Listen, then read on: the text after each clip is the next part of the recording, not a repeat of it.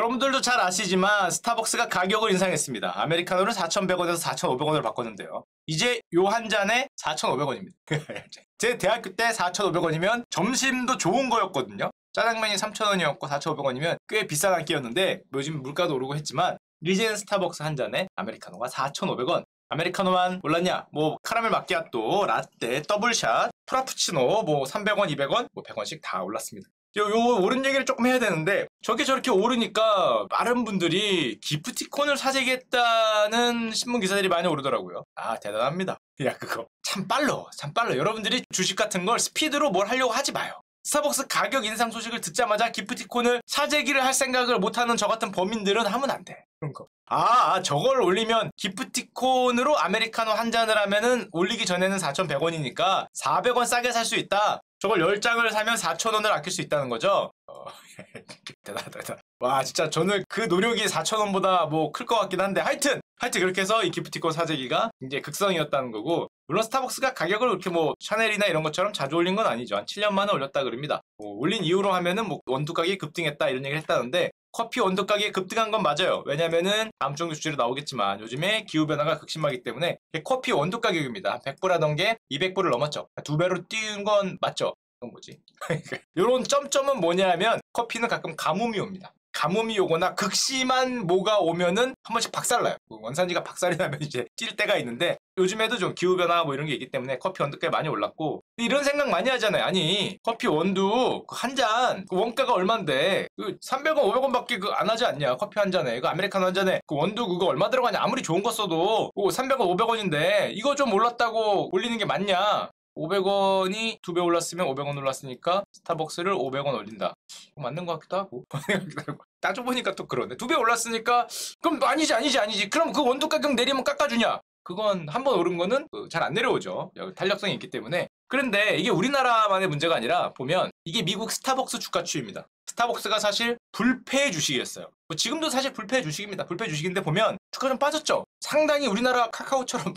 아 갑자기 또 가슴이 아파오네. 굉장히 안 좋은 모습으로 그래도 모양이 굉장히 안 좋게 주가가 많이 밀렸는데 스타벅스에 무슨 일이 있었을까? 무슨 일이 있었을 것 같습니까? 원두 가격이 많이 올라서 그것도 있지만 스타벅스가 이번 2022년 실적 예상치를 가이던스를 실적 가이던스를 조금 하향 조정을 했는데 뭐라고 얘기를 했냐면은 쭉 읽어보시면 알겠지만 우리가 지금 인플레이션 압력 때문에 뭐가 온다? wage hike 한마디로 임금 인상이 굉장히 셀 것 같다. 비용이 증가된다. 비용이 증가되니까 우리 순이익이 내려갈 것 같다라는 얘기를 했어요. 저거 다음에 저렇게 쭉쭉 빠지고 있는데 예를 들면 스타벅스의 지금 CEO가 케빈 존슨이라는 분인데 직원들에 대한 지속적인 투자를 하겠다. 이게 무슨 말이냐면 직원들의 임금 인상을 수용하니까 지속적인 투자로 받아들일 거고 그 때문에 비용 증가를 예상한다. 저 한마디에 가격이 쭉쭉 빠지고 있는데 한마디로 스타벅스 같은 소매 기업들이 인건비 압박이 2022년에 굉장히 강할 거다라고 많이 본다는 거죠. 이거 보면은 미국의 이번에 12월 소비자 물가 예전에 보여드렸던 건 11월까지 나왔는데 12월 소비자 물가가 따끈따끈하게 나왔습니다. 얼마가 나왔냐면 1월 13일이에요. 정말 따끈따끈하게 나왔는데 7%가 찍혔어요. 와. 어, 이 11월에 6.8인가 뭐 6.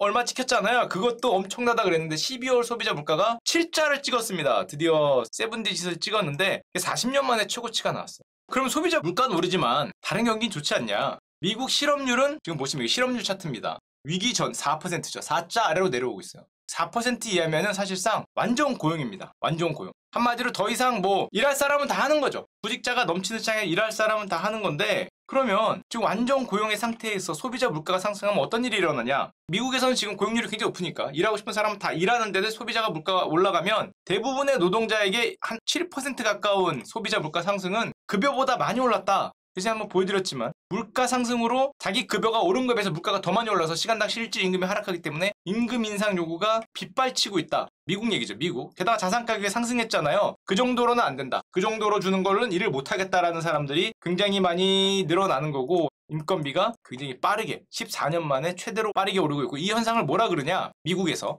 임금과 물가의 악순환, wage price spiral이라고 그러는데 물가가 오르니까 임금을 올려달라 그러고 임금이 오르니까 물가가 오르고 또 물가가 오르니까 임금을 올려달라 그러고 임금이 오르니까 물가가 오르고 이게 반복되는 악순환에 지금 빠질 가능성이 미국이 굉장히 높아지고 있다라는 얘기를 많이 하죠. 이 차트를 보면은 물가가 임금이 쌍끌이로 서로서로 끌어주면서 이제 같이 올라간다. 소비자 물가도 올라가고 시간당 임금도 같이 올라가는 이런 현상이 미국에서 보이고 있다는 건데 옛날에 보여드렸지만 그 속도가 평년 금융위기 2010년대 한 2%였다면 지금은 거의 한 4% 정도로 두 배 이상으로 임금 상승률이 빨라진다는 거고 그리고 옐런 미국 재무장관 누나가 엊그제 나와서 한 얘기입니다. 물가와 임금의 악순환을 연준이 끊어야 된다. 이런 얘기를 했고 여기 나오죠. wage price spiral을 끊어야 된다는 얘기를 했는데 그러면서 한 얘기가 작년에는 우리가 아 풍월령 풍이 뭔가 했는데 아아아 아, 아, 닮았다고요? 어... 뭐 뭐라고 언급하진 않겠습니다. 아 무슨 소리예요? 전 아닌 것 같은데. 하여튼 자 보면은 작년에는 우리가 그 에너지 가격 상승이나 공급망 차질로 제품 가격이 올랐죠. 그래서 물가가 올랐는데 올해는 2022년에는 서비스 요금 사람들의 임금 인상에 대한 요구가 강해지면서 서비스 요금이 강하게 오를 거다라고 얘기를 많이 하고 있습니다 자 그런데 이런 상황에서 아니 그러면 사람들이 일을 많이 하러 오면은 일할 사람이 많으면 임금 인상이 더 안정화될 수 있지 않냐? 하지만 보여드렸지만 실업률은 굉장히 낮은데 아직도 사람이 모자르죠. 이제는 다 왠지 아시죠? 많이 나왔으니까 은퇴자가 늘어서 구직자 한마디로 일을 구하는 사람 자체 분모 자체가 줄었는데 사람 구해요. 구인 건수는 아직도 증가하는데 일하겠다는 사람은 보시면 알겠지만 지속적으로 감소하고 있습니다. 그래서 얼마 전에 통계가 하나 나왔죠. 미국 11월 퇴직자 통계가 나왔는데 보신 분 있겠지만 통계 집계일에 미국의 퇴직자가 최대 수치를 기록했습니다. 이게 1월 달에 나온 뉴스예요. 미국 453만 명. 1년에 400만 명씩이니까 4천만에서 5천만 명이 퇴직하고 일을 바꾸던지 아니면 아예 그냥 은퇴를 해버리던지 미국이 현재 퇴직자 통계가 역대 집계 일에 최대 숫자를 찍고 있고 그래서 요즘 미국 레포트들에서 나오는 논쟁이 있는데 어떤 논쟁이 있냐? 미국이 저렇게 퇴직하고 퇴사하고 돌아오지 않는 퇴사인들이 늘어나는 게 대퇴사 시대를 맞는 것이냐라는 논쟁이 있어요. 지금이 정말로 사람들이 이제 일을 본격적으로 덜 하기 시작하는 대퇴사 시대에 진입한 거냐? 아니면 일시적인 거냐?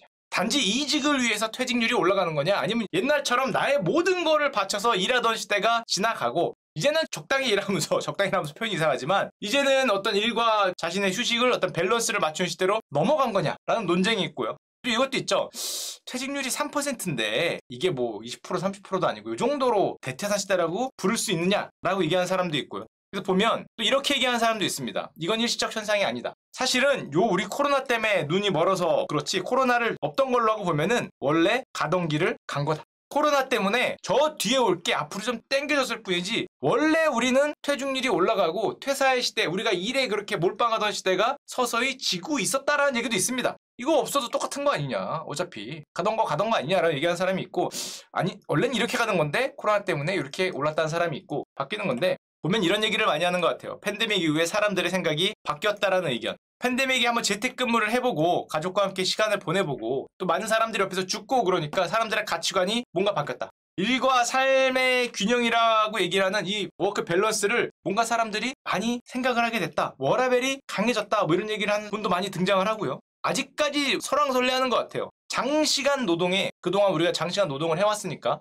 사회 전체가 번아웃이 오고 있다. 아, 저만 온 게 아니네요. 저만 온 게 아니라. 이 유튜버만 오는 게 아니라 사회 전체가 장시간 노동에 대한 회의에 빠진다는 거죠. 회의에 빠지는 일이 펼쳐지고 있다. 한마디로 자신들의 삶을 다시 생각해보고 이런 형편없는 일자리에 이 돈 받고 내가 계속 인생이란 뭘까? 장자나 노자, 도가 사상이 이제 들어가나? 뭐 이런 거를 많이 생각을 하는 것 같다는 거고. 자, 그러면 대퇴사 시대가 오면 어떤 일이 펼쳐질까? 이런 일이 펼쳐집니다. 해고가 없어요. 아, 야, 이거 좋다, 좋다. 해고가 없어요. 미국에서 지금 해고가 역대 최소 수준입니다. 해고를 하겠어요? 여러분들 같으면? 옛날에 맘에 안 들면 you are fired 외치면서 뭐 너 바꾸고 누구 넣고 하잖아요. 이제 fired를 못해요. fire를 못할 거야. 사람이 없는데. 이제는 해고가 멈췄어요. 이게 무슨 소리냐? 이게 한국은행의 그 차트에서 갖고 온 건데 빨간 게 해고고 파란 게 퇴직입니다. 퇴직자가 어마무지하게 늘면서 실업률이 올라가면서 사람 구하기가 어려워지니까 해고자가 빨간색 역사상 최저점 최저점 해고자가 거의 반퉁 났어요. 반퉁. 200 넘게 있던 게 100 근처로 왔기 때문에 해고를 이제는 거꾸로 했죠. 내가 나가거나 근로자들이 결정을 많이 하지 이제 회사가 함부로 자르는 시대가 미국에서 지금 현재는 지나가고 있고 게다가 이런 문제가 단기간에 해결될 거라고 본 사람이 별로 없어요. 지금 미국 노동부 장관이 이런 얘기를 하죠. 이거는 조직화되지 않은 비공식 파업에 가깝다. 어떤 근로환경 개선이나 임금 상승 같은 게 오지 않으면은 이런 문제는 노동 공급이 부족하고 이런 상황은 계속 지속될 거다라고 얘기를 하고 있는데 보면 우리가 옛날에 제가 어렸을 땐 이런 걱정 했거든요. 자동화가 되면 일자리가 줄어서 로봇이 대신할 거다. 제 때도 그랬어요. 자동차 공장 가면 이렇게 팔만 잉잉 왔다 갔다 하니까 이런 애들이 막 다다다다다다 받고 해서 없어질 일자리 베스트 10 뭐 이런 게 유행했어요. 뭐 1위는 뭐가 없어지고 2위는 뭐가 없어지고 그래서 취업난이 오지 않을까 걱정을 많이 했거든요. 근데 요즘에 걱정이 바뀌었죠. 그게 아니라 자동화가 되거나 뭐가 되거나 생산성이 올라가니까 사람들이 일을 그렇게 열심히 안 해도 되는지 모르겠는데 하여튼 먹고는 사니까 일하러 오지 않아요. 그래서 취업난이 아니라 고용난이었어요.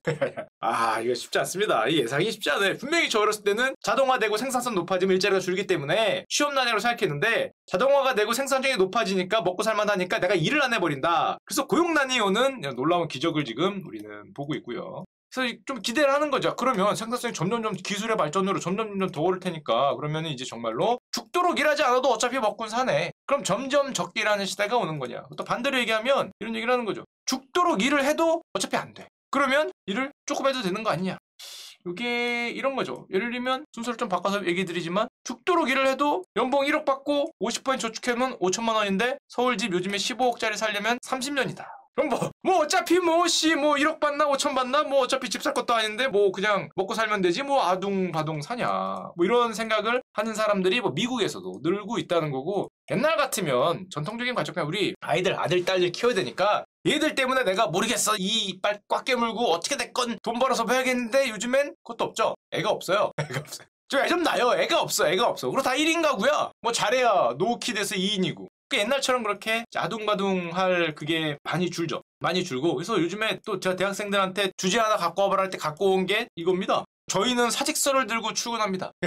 아 그래? 아 여차하면 여차하면 옛날 같지 않다는 거죠. 옛날 옛날 생각하면 안 돼. 아, 이런 저런 이유로 이거 해도 딴 데 갈 수 있고 이거 내가 지금 그렇게 급한 것도 아니고 해봐야 되지도 않고 책임져 주는 것도 아닌데 거기에 내가 그러냐 여차하면 갈아탄다 뭐 이런 생각을 뭐 많이 한다고 하고요. 좀 돌아와 보면은 그래서 2030들이 이런 얘기를 한다 그럽니다. 고연봉도 싫다. 유형 근무도 싫다. 그래서 게으름뱅이가 되고 싶다. 이거 미국 얘기예요. 미국 얘기. 국제입니다. 국제. 그래서 레딧에서 요즘에 뜨고 있다는 게 안티워크다. 옛날에는 월스트리트 배치였는데 작년 2020년에는 월스트리트 배치였어요. WallStreetBets가 뭐예요? 돈 많이 벌자. 많이 벌어서 나도 여기 있는데 한 번에 일로 점프를 해야겠다. 아 자산 가격 오르는 거 봐라. WallStreetBets가 Reddit을 휩쓸었는데 막상 이 자산 가격 상승이 어느 정도 마무리된 것 같고 오른 걸 보니까 이미 여기잖아요. 여기 있는 사람들이 다시 쳐다보니까 WallStreetBets를 가면 안 될 것 같죠. 그래서 간 게 어디다? 아예 하지 말자. 하지 말자. 그래서 간 게 antiwork라 그러는데 일하지 않는 그 어차피 나 어차피 여기서 여기 옛날에 월스 Bets 될 때는 됐어도 이제 멈췄잖아. 이제 못 간다. 못 가니까 어, 적당히 일하고 누구를 위해 일하냐? 적당히 일하고 모두 게을러지자. 이런 운동을 좋은 것 같지는 않지만 뭐 한다고 합니다 아 뭐 하여튼 그래요. 그렇다고 합니다.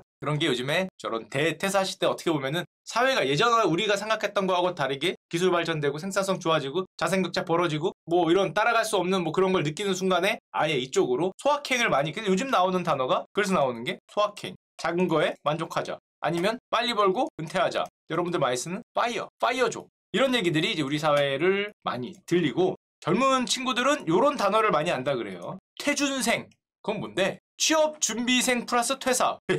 취업 준비생이 왜 퇴사를 생각해? 요즘에 신조어를 합니다. 저 처음 봤어요. 취업 준비를 하면서도 이미 퇴사를 생각한다. 퇴준생이라 그러는데 퇴준생. 들어와서 여차하면은 간다는 거죠. 아 무서운 사회입니다. 무서운 사회. 그 이걸 보고 뭐 이런 신문 기사가 있더라고요. 뭐 당당함이냐, 뭐 이기주의냐. 이게 왜 제 생각엔 그래요. 그건 이기주의가 문제가 아니라 그 사회가 그렇게 바뀐 거죠. 사회가 그렇게 바뀌고 있는 게 아닌가 하는 생각을 하고요.